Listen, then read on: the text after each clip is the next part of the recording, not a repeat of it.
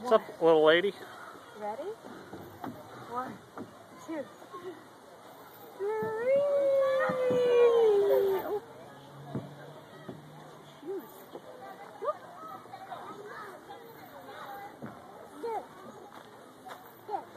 Careful.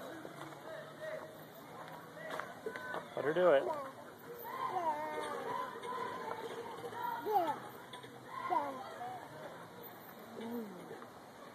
Genevieve.